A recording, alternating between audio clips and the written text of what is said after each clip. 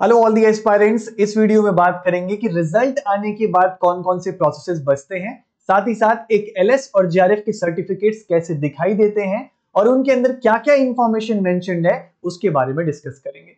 जितने भी बच्चों ने इस बार जेआरएफ में एलएस या जेआरएफ क्वालिफाई किया है वीडियो को पूरा ज़रूर देखिएगा। आपके लिए at the end of the video में कुछ है। आइए शुरू करते हैं।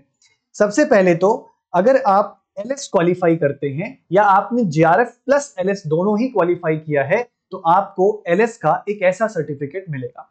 This is for the lectureship अब इसमें एक पॉइंट लिखा गया है कि अगर आप कॉलेज ऑनगोइंग स्टूडेंट हैं तो आपका एलएस सर्टिफिकेट तब वैलिड होगा जब आप मास्टर्स पास आउट कर लेंगे। ये पॉइंट यहाँ पर मेंशन करी गई है। वैसे एलएस की at the end date validity की बात करूँ तो लाइफ टाइम वैलिडिटी होता है ये, इसमें कोई एंड डेट नहीं होती है। और इस तरीके से आपको सर्टिफिकेट मिलेगा, यहाँ आपकी फोटोग्राफ होगी, यहाँ बारकोड होगा, नाम लिखा होगा और ये आपको वेबसाइट से ही डाउनलोड कर लेना होता है और आपको वेबसाइट पर लिंक आ जाएगा। ठीक है? कब आएगा? इस बार के एग्ज़ाम के लिए। अभी वीडियो में आगे बताऊँगा।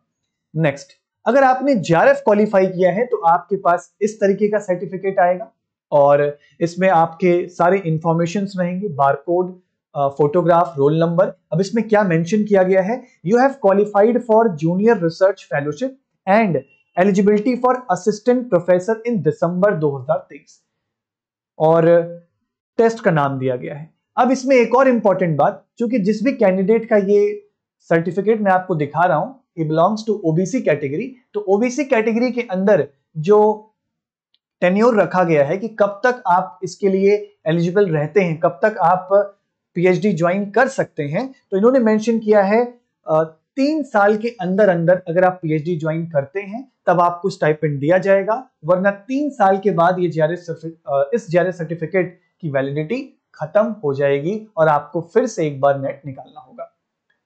अगर आप भी जानना चाहते हैं कि आपकी कैटेगरी में कब तक वैलिड होगा तो नीचे कमेंट्स में बताइएगा, इसके ऊपर हम एक सेपरेट वीडियो भी बना देंगे।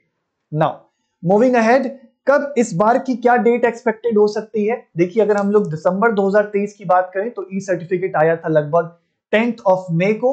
और अगर हम जून 2023 की बात करें तो आया था थर्टींथ अक्टूबर को। इस बार भी अक्टूबर के मंथ में आ जाता, लेकिन अभी तो कट ऑफ़ ही फिफ्टींथ अक्टूबर को आई है। तो चार महीने का गैप इन्होंने हर बार रखा है। तो फ़र्स्ट वीक ऑफ़ दिसंबर या दिसंबर के सेकेंड वीक तक इस बार के ई सर्टिफिकेट्स आ जाएँगे।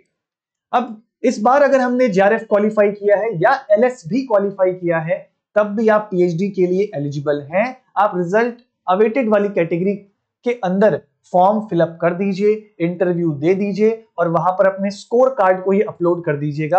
अगर फॉर्म फिलअप में ऐसा माँगता है और कहाँ कहाँ के ऑनलाइन पीएचडी एडमिशंस चल रहे हैं तो इस वीडियो को डिटेल में देखिए। अगर आपने सिर्फ़ एलएस क्वालिफाई किया है, तब भी आप पीएचडी आईआईटीज और आइजर से कर सकते हैं। इस वीडियो को आप इसी चैनल के वीडियो की लिस्ट में मिल जाएगा आपको, ठीक है? वहाँ से देख सकते हैं।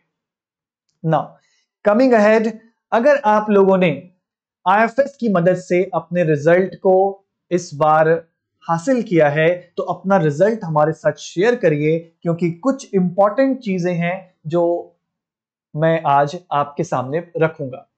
आईएफएस एक कम्युनिटी फ्रेम कर रहा है।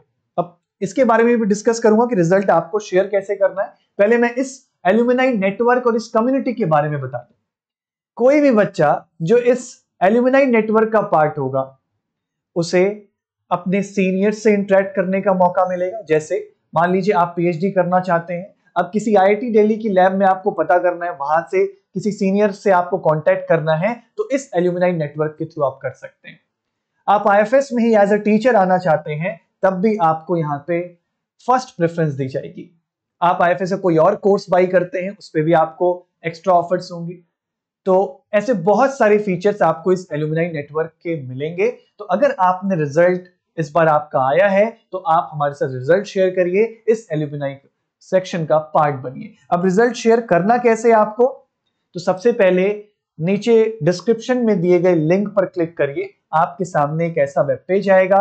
उस वेब पेज पे आप अपने आप को रजिस्टर करिए। मोबाइल नंबर ओटीपी डालने के बाद यहाँ पर आपके सामने कुछ डिटेल्स मांगी जाएँगी। जैसे फ़र्स्ट नेम लास्ट नेम आपकी ईमेल एड्रेस मोबाइल नंबर और क्या कैटेगरी रही आपकी।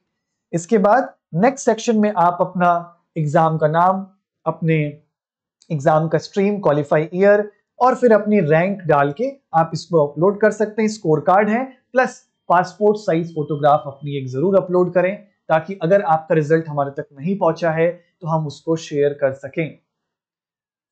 आई विश कि आप लोगों ने इस बार एग्ज़ाम में अच्छा परफॉर्म किया था।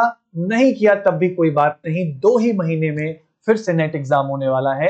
अपनी तैयारी को जोरों शोरों से जारी रखिए।